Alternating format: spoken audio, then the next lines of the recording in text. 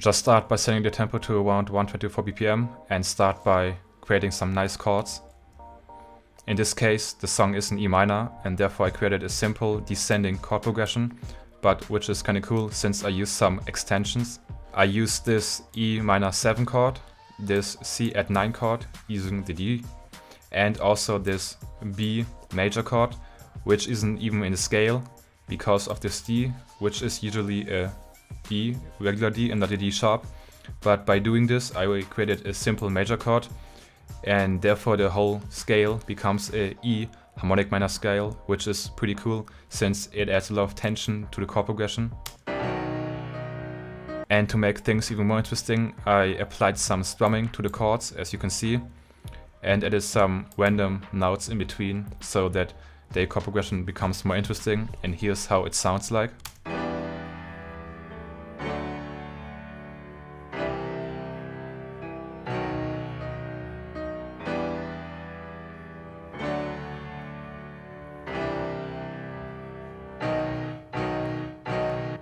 And I added a second layer, which is a serum patch, and this layer sounds like this.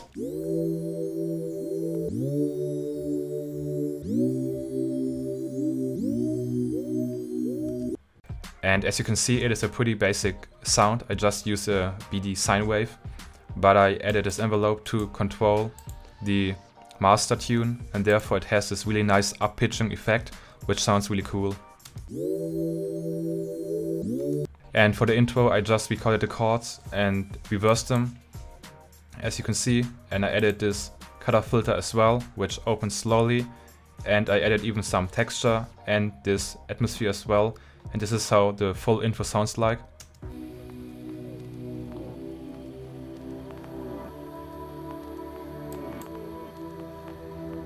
Next, I added this vocal, which is from a remix contest, and it's pretty cool in my opinion.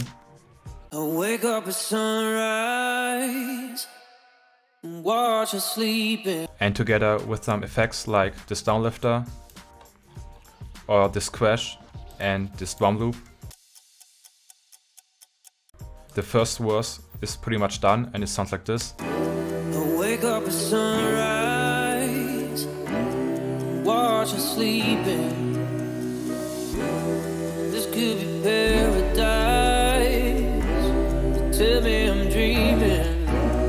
And notice how the chords are opening up here because I added this simple macro and it's just a great way to add a little bit of tension to the chords and here's how it sounds.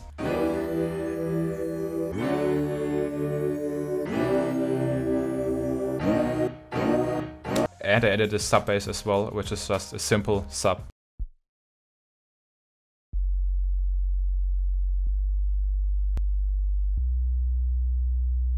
For the second part of the verse, I used the same chords, but I chopped them up, and they sound like this.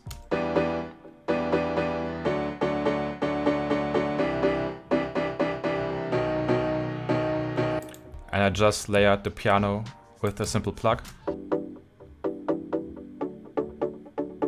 And I added also some sidechain using this kickstart automation. And as you can see, right now I have a bit of sidechain on the piano, but just around 38%, so not much. But it helps to support the groove, which is created by this cool bass line.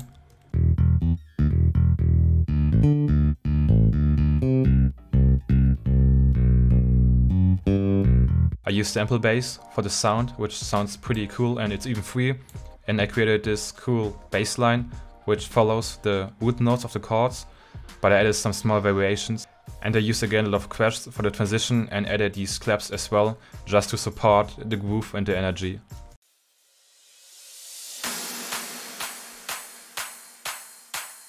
That's how the second part of the verse sounds like. The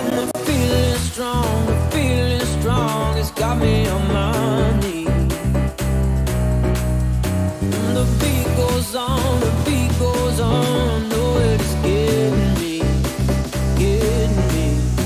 the cool thing is that the verse basically merged into the build-up, and which is cool because the transition between the verse and the build-up is almost fluently, and it sounds like this.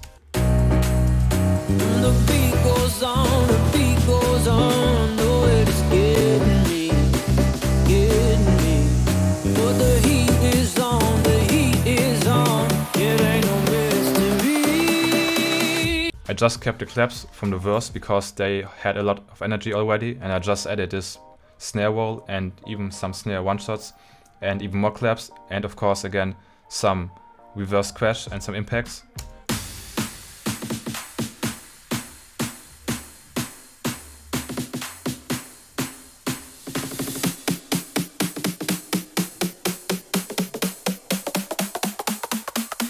I kept the bass and the piano as well and added also again a lot of effects such as some downlifters and also a lot of visor. Beat goes on, the beat goes on, though it is getting me, getting me. It's on, it ain't no mystery. And I use several different master automations as well and it's just a great way to make the drop appear bigger when you automate certain things on the master channel. And as you can see I automated the volume so it will decrease in volume and then opens up back in the drop. So that way the drop will appear much louder. And I automated the stereo image of the master channel as well. And as you can see it decreases and opens up back in the drop. And that way the drop will be much wider than the build up. And the last automation is pretty common to use, it's just a low cut. And as you can see it just slightly cuts out the low of the whole track and therefore again the drop will appear much fuller and bigger. And right before the drop hits I added some impacts and this cool acoustic fill. And as you can see I automated the panning of the fill again and also added this pitch bend which is also pretty cool. For the drop I created a simple 4 on the floor beat and layered a clap on the 2 and the 4 of each bar and it sounds like this. And as you can tell, I added some vocal shouts as well, and they sound like this.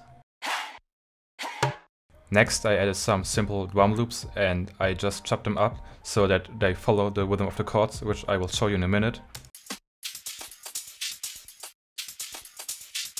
And I added some percussion one-shots as well, just to make the track more interesting, and to add a little bit of groove again, and they sound like this.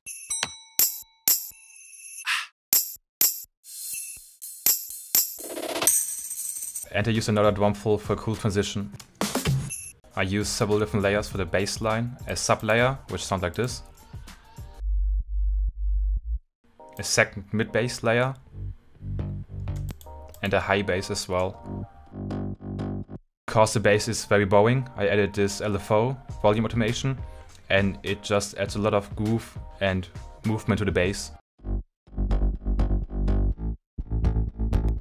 And as you can see, I mixed the basses individually. I added some EQ for the sub bass and I put it in mono and also some EQ and some distortion for the high basses. And they are all routed to the bass bus. And I just added some simple OTT to the bass bus and a compressor as well, so that the bass sounds will sound more cohesive. And I applied also some simple kickstart. The chords are more or less the main part of the track, and they sound together like this.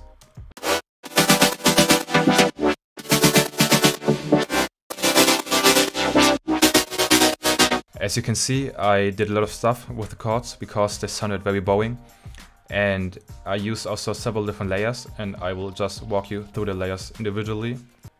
I just kept the same chord progression and added these cool steps, which consist of four layers. Um, three of them are just simple saw waves and I have a trumpet layer as well. And I just use the simple super saw layer and I just layer it with the second super saw, which is consolidated due to CPU reasons and it sounds like this. And as you can tell, I used again the same volume LFO automation and I added even a cutoff filter and a pitch automation so that the chords start 12 semitones below and they pitch up. And I used also a stereo imager to automate the stereo image. And as you can see, it is stereo and then it becomes mono and then it opens up again in the second beat of the drop and that way the drop will appear again much much bigger and it's just a cool technique to make the drop stand out. But I believe that I will do a video in the future in which I will cover some cool automation techniques. So feel free to subscribe if you want to support my channel and if you don't want to miss any new videos. As you can see I mixed them again all separately but linked them to the same mixer bus and I applied some OTT to compress the chords and to make them again sound more cohesive. Next I added a simple EQ, which I automated. I added a second compressor as well, just to tame the dynamics of the sounds. And this reverb again. And just again the simple kickstart, just to add some sidechain to the chords. But because the track sounded a little bit empty, I added again a top layer, um, which consists of vocal chops and some synths, and they sound like this.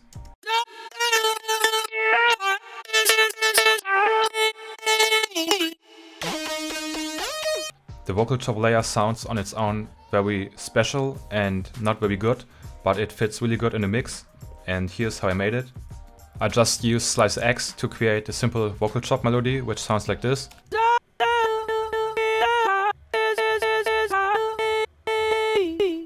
Which sounds pretty awful, but when I add um, these effects, it sounds like this.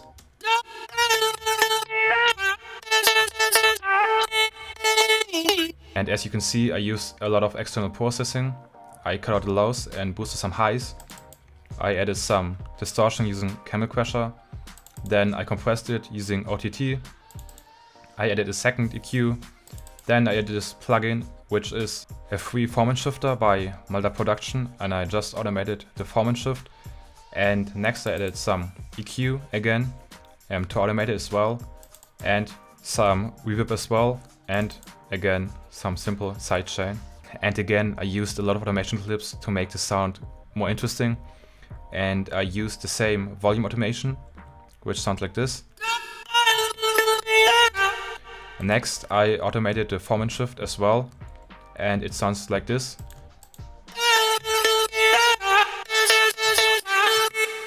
Which is kind of weird, but it fits really good in the mix. And I added also this reverb automation to fill up the spaces. And I just cut out some of the highs to make the sound even more interesting and to change things up.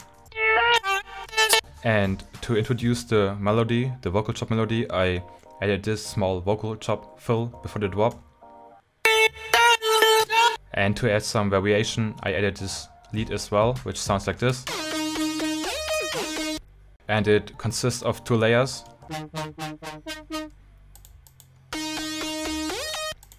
and as you can see, it follows again the same volume automation.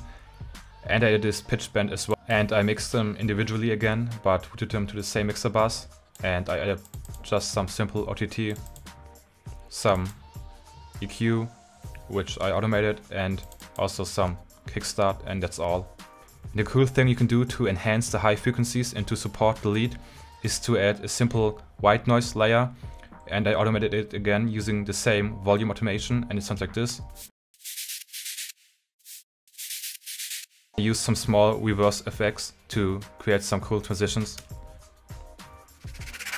And before the second half of the drop starts, I added this cool fill. I just used some impacts, this small drum thing. And I created this custom bass fill, which is the same bass I use in the verse, but which sounds pretty cool in my opinion. And I just added a simple piano again. And I added the vocal again in the drop, which follows also the same volume automation and it sounds like this.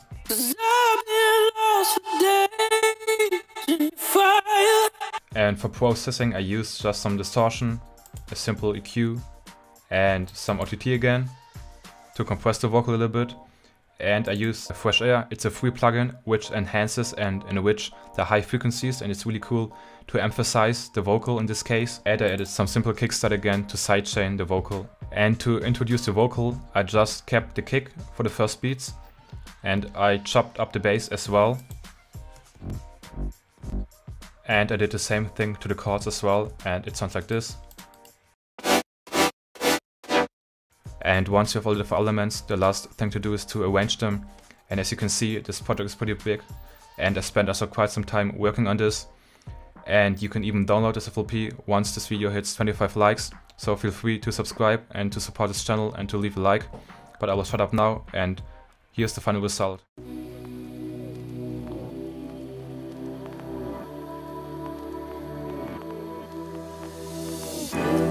Wake up at sunrise, watch her sleeping. This could be paradise.